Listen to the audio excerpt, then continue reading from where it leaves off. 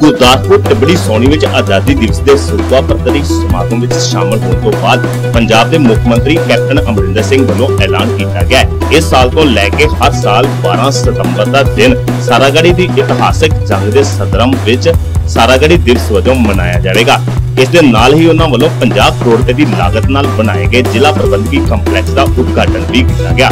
ਇਸ ਮੌਕੇ ਵੱਖ-ਵੱਖ ਹਲਕਿਆਂ ਦੇ ਵਿਧਾਇਕ ਉਹਨਾਂ ਦੇ ਨਾਲ ਮੌਜੂਦ ਸਨ सिख रेजिमेंट में मेरी पलटन सी मैं गया सी उन्होंने कोल बस हुई और कुछ नहीं अब मेरे को टिबड़ी से मैं गुरदासपुर आना सी तो मैं उन्होंने कोल रुकिया रात जितांगे और की और की और की पूछना ਹੁਣ ਥੋੜਾ ਕੀ ਖਿਆਲ ਮੈਂ ਕਹੂੰਗਾ ਕਿ ਹਾਰਾਂਗੇ